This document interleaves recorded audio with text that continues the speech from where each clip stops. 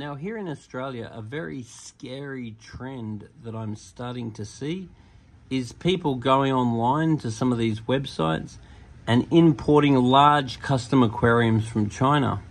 I have many videos on that particular subject and all of the risks involved with importing large aquariums.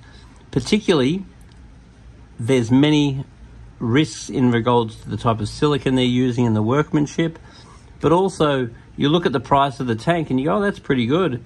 But then by the time you factor in the delivery costs, and then by the time you factor in the extended wait times, and by the time you factor in the logistics of actually getting the tank, often the price that you originally looked at is completely doubled, plus conversion rates, fees, and all that other business.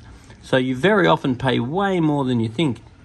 But the other major concern that I'm having at the moment is people are importing flat packed cabinets. Now, if you're just talking about a four or a five foot tank and you whack it on a flat packed cabinet, it's not really the end of the world.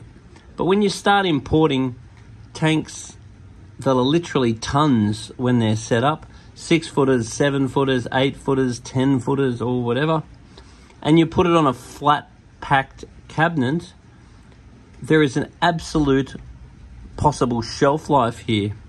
Because for a start, nearly all of these flat packed cabinets have absolutely no structure to them whatsoever. So there's no solid timber, there's no steel, there's nothing that actually is going to have any structural integrity whatsoever. So quite often you put it together like this and uh, across the back is often a um, board which is supposed to stabilize it, but they're often tacked in with the very, very finest of nails, almost a cosmetic um, addition. Now, if you fill that tank up and it weighs a ton or two ton, and then you happen to lean on while the weight is completely down, might be okay. If you go and lean on the side of it, then these this backing, no matter how you've attached it, if it's attached to particle board, it's basically not going to be structural at all as far as the tank flying off in that direction. Even if those timbers are recessed within these panels, it'll just fly that way and forward. Because one or two ton of weight needs a serious structure down here to stop it. Because I've actually heard of customers that have bought these tanks, then it's just flown off in that direction, crushed everything underneath, major, major problem. Even the other thing I've seen too is they put these little cosmetic legs on the bottom. I'm like, are you serious? This is going to be like a ton or two ton, and you're putting these stupid little plastic legs on the bottom. I don't know what sort of crack they're smoking to go thinking that this will be okay. So you definitely want to take any little legs off, if, unless they're solid steel, because the other thing I've seen too is where they actually tell you to put the legs is often not even under the supports. So you want to make sure if you are putting a completely solid leg, it's got to be like literally right underneath the the the leg, because otherwise that'll push down, and it'll just, it'll just warp and bend. That'll just warp and bend. So with something like this, all that's holding it together is some very fine nails, usually almost cosmetic style, and some camshafts and a bit of dowel. So once again, you put a bit of pressure that way, and this thing's just going to fly. It's going to go straight through the wall. You could be talking about dead people if you're unlucky, and best you stuff your lounge room up. So when you're looking for a stand, especially for a tank six foot or more, you really want to look at a very well known brand. If you went for Red Sea, Aquael, or something that's got a bit of reputation to it, don't go importing some no name from China because they'll sell it to you.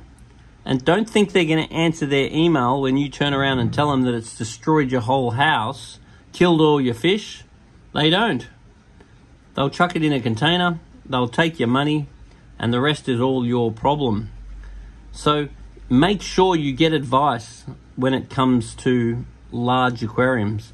Once again, if you're just buying a three footer or a four footer and you're chucking it on a Bob's Your Uncle fantastic flat pack stand, well, no big drama. But when you start talking about big ones, you start talking about real risk. It can be very dangerous, it can be very disheartening, and there can be a whole lot of hidden costs. Anyway, if you want advice on any of this stuff, Majestic Aquariums, come down and see us. At the end of the day, if you buy something cheap, it's because it's cheap. I would really recommend, especially if it is going to go in your lounge room, you want to do the research and do it properly. Get a strong stand. Get a well built aquarium. It's really, really, really worth the extra effort. And it's always going to cost you a little bit more, but you're going to sleep at night. You're not going to be wondering, hang on a minute, I hope my aquarium in my lounge room doesn't end up in my bedroom and so forth. Because don't think the don't think these things don't happen because they do. I get to be involved in a lot of these horror stories. They'll ring me up when something's drastically gone wrong. So if you think it's too cheap, you think it's too good to be true, just consider that maybe it is. It's better to spend the money in the first place, get something good, get something safe, get something that's going to last.